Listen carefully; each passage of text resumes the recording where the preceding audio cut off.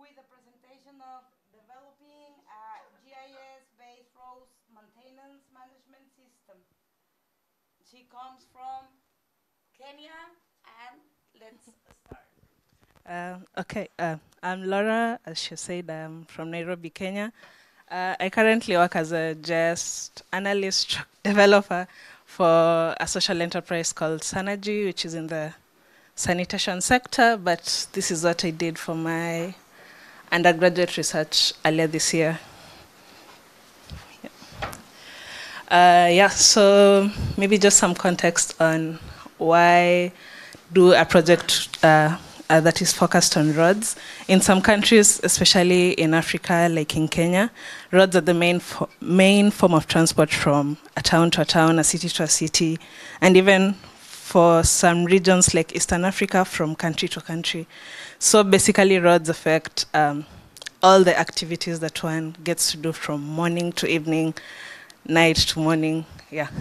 So um, as I've said, like it affects like very simple activities like going to work or a shop, or very urgent and complex ones like firefighters and or an ER team getting to an accident or an incident.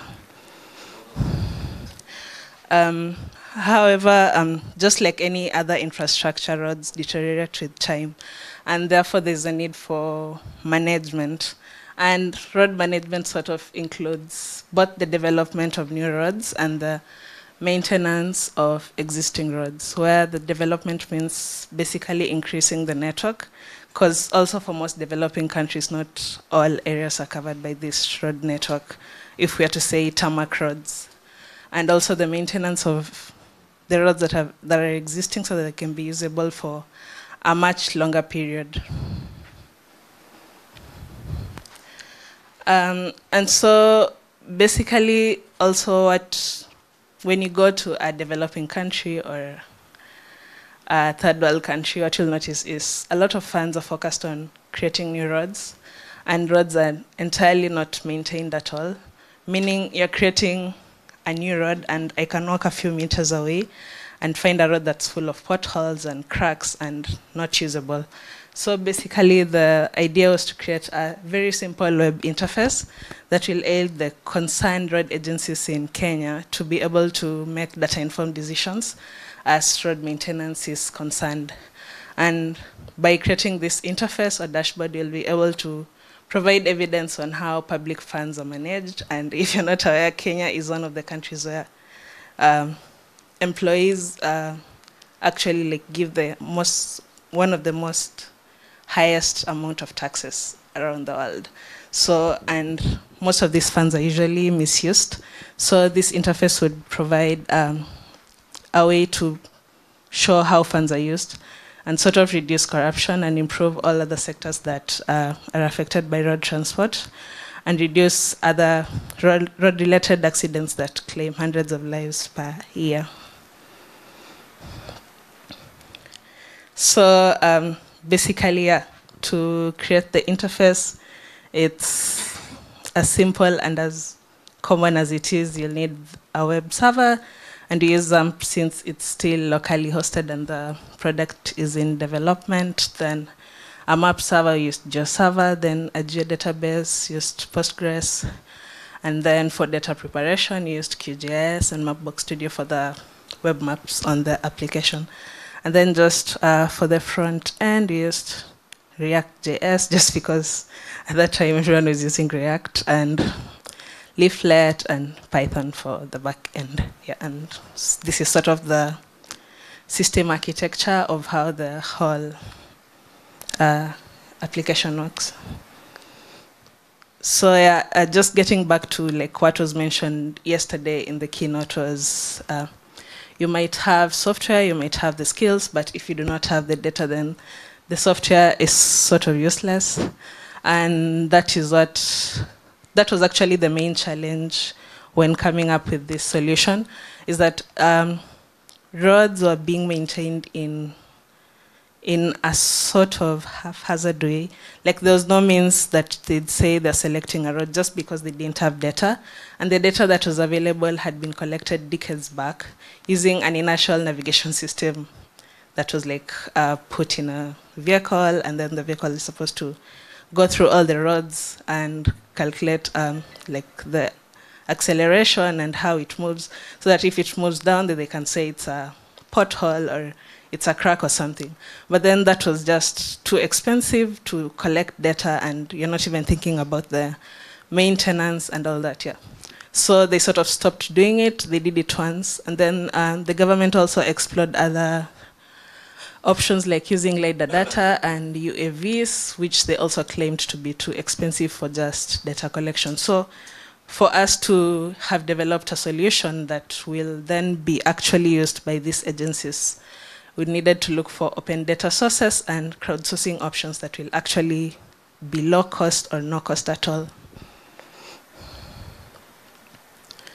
That's uh, when now we got to use OpenStreetMap data uh, and transit data that had been collected by an organization called Digital Matatus in Kenya.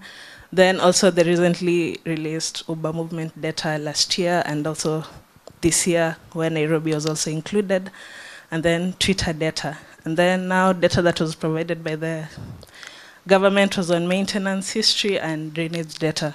So um, maybe just a few things was that OSM was the best data, and then maintenance history was basically data on which roads have been maintained in a year and which roads have basically not been maintained since they were constructed.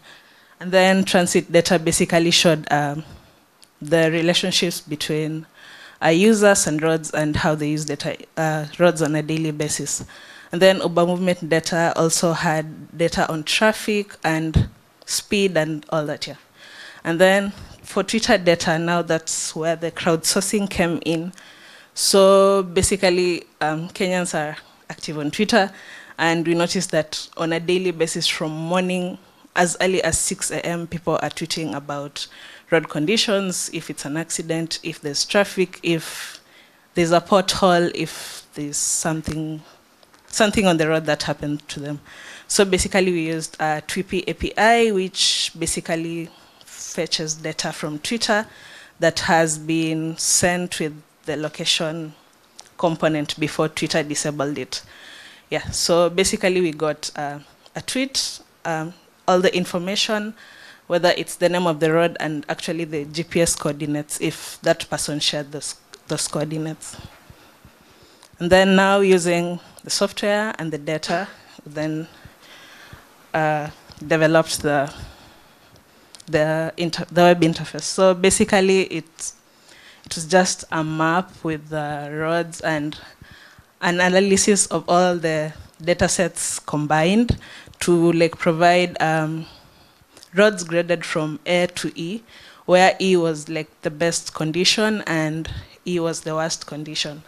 And then uh, since most of these road agencies, the people working there are not GIS experts, we also provided a table view just in case someone might have issues or might just want to know the specific roads, then assign the funds. So we also provided a table view. So um, also another fact uh, about Kenya is that we have a devolved government. So we have 47 counties which manage funds per county. It's not centralized uh, that the government at the top decides everything for the entire nation. So yeah, so we also provided the county level so that um, if the road agency in a specific county can just see what he needs, say for Nairobi County alone and also the specific constituency. So yeah, so that was it. Um, and then now also one last functionality on this interface was also to uh, pro show if say they chose to to uh, to maintain a road say this road section here, E, it would show an alternative route, which is the blue highlighted route on the end. So if the road is closed for maintenance, then it means uh, transport for people and goods won't be distracted, meaning they can still use alternative routes to move from one point to another.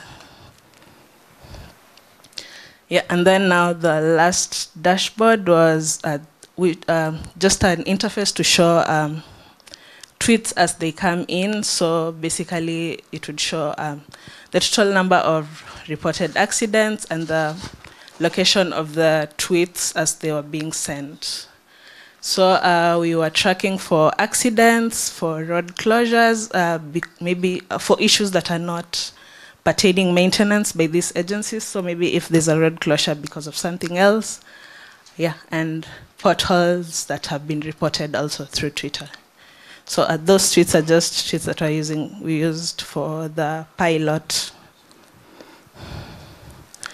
Uh, and then now, uh, what we are currently working on is creating an anal analysis dashboard where they can basically upload, um, say, a file of the roads, if it's a GeoJSON or a shape file or anything, and then they can uh, indicate the maximum amount of roughness index because that's what they use to measure uh, the condition of a road, and then it would show them a list of of the roads that are like in the worst condition.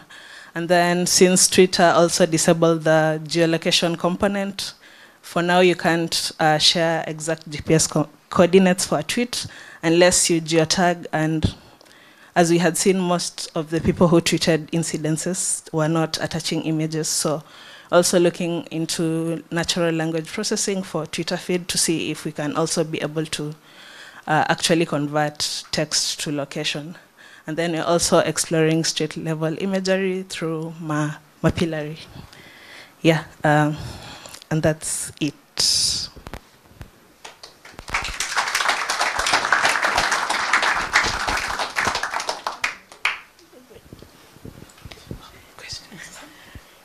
Thanks, Laura. Do you?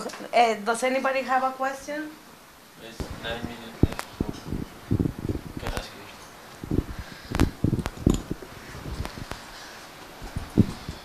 you. Hello, thanks. If you implemented a linear reference on your old network, was it successful with open source tools?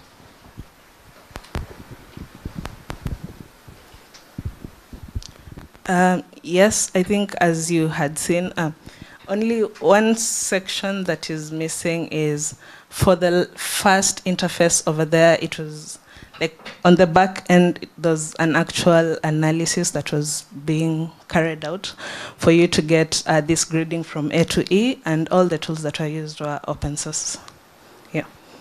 So all the processing was being done on the on the server side. We have another question.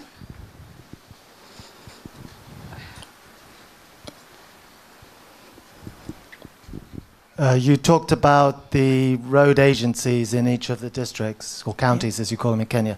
Um, are the, the agencies committing data to OpenStreetMap? Are they on board, or, or is it still disparate? Um, in terms of so that you can actually get a, a, a, national data set for Kenya that is actually up to date, particularly for rural rural roads? Um, so no, yeah, uh, as it would have been expected. Um, uh, so basically, for OpenStreetMap, it's the local community that actually does a lot of work, and then we reach out to other organizations that have data on transport, and then we sort of get to integrate the best data and yeah, and what we get from these organizations. But actually, for but for the first base of the road transport that was ever put on OpenStreetMap, uh, they gave it to us. But then for the updates, no. yeah. Any more questions? So my question is maybe because now everyone has mobile, yeah, but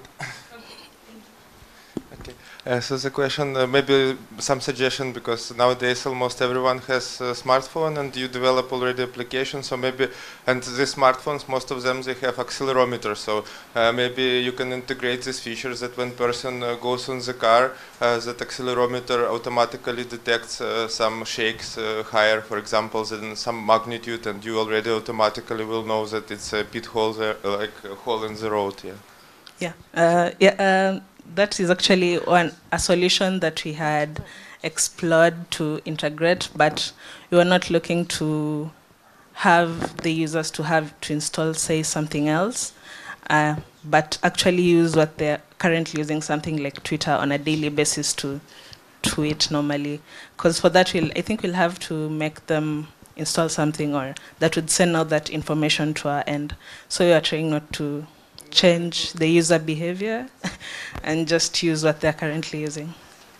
It will- require some more permission uh, for uh, from the user to accept, uh, for example, uh, that application needs access to uh, some uh, more data from mobile phone, but I don't know if uh, uh, from the point of view of Kenyan legislation it will somehow be uh, yeah, you need to think how to basically possible to anonymize this data because I understand it's uh, some issue from point of view of personal data if someone tracks where you go, but somehow I think it's possible to uh, think about some uh, anonymizing algorithms uh, for this. Okay. Thanks. Any more questions? Okay, let's give it a applause to Laura.